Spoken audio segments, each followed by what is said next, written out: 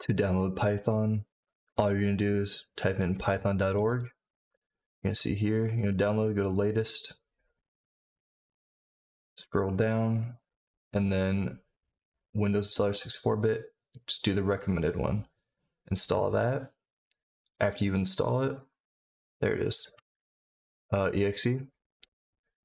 Um, it's going to say install. It won't say these. You'll hit install, and then there's going to be a add path. There's going to be two options. Make sure both are checked, so that way you add the path. Otherwise, doing the pip install won't work. And do next, next, like add path to environmental. That'll be at the start when you first install it. It's just adding this, so that way when you do your pip installs and everything, it actually works. And then you'll hit install. I already have it, so I'm not going to do it. All right, so Palworld dedicated server. It's crashing.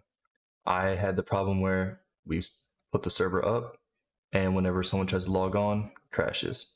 That is due to it, the save file right here being far too large. Once it exceeds like 50k, it just likes to shut down. So first things first, you're gonna navigate to your save file. First things first, you will copy this and paste it on your desktop to create a backup. Always good to have. But now you find your save file. You're going to take it. You're going to take the level.save and the players. Going to take both of them.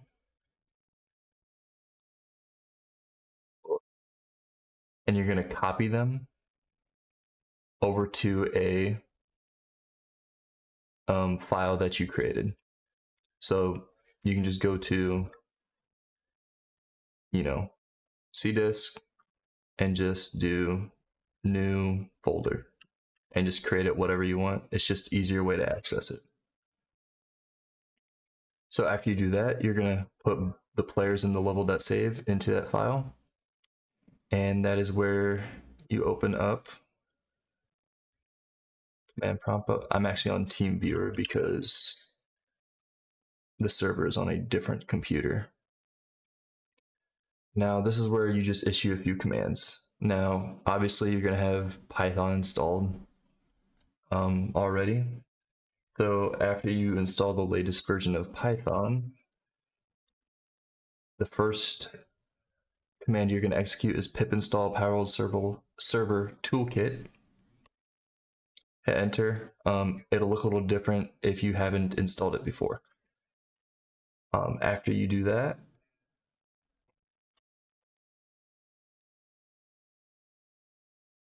now you're going to execute this command right here, python-i-m Palworld server toolkit editor, and then this dot .c or this c Palworld level.save I got from here.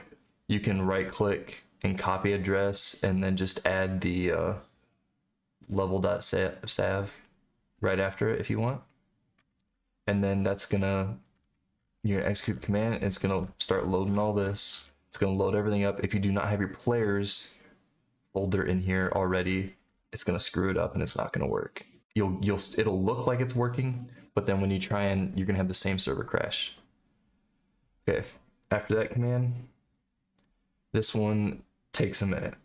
So we'll we'll speed it up but I'll, I'll actually just type it out.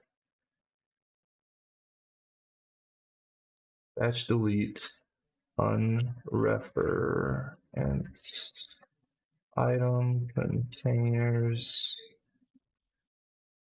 Let's so this is going to delete all of the junk that's been freaking cluttering up all your memory. Hit enter. This is going to take a little bit.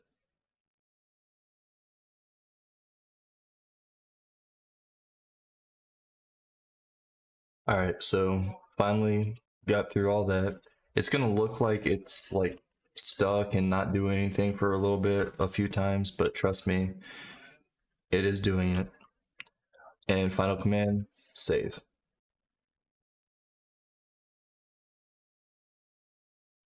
And then after we do this save, we're, it's just going to be a simple uh, copy and paste.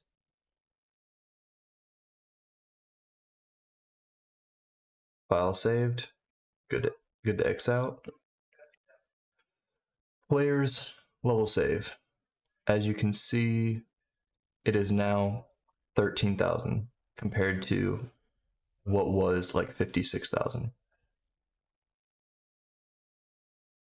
All you're going to do is copy this or just straight up move it into your actual original file place. I'm not going to do it right now because I have the server up and running, but you do that, switch both over. If if you still have these two in here, go ahead and delete them, switch them over, uh, start up your server. It'll come right up, uh, no questions asked. Hope it helps. Okay, bye.